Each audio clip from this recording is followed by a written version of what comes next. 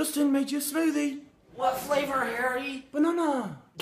You forgot to make it super swaggy!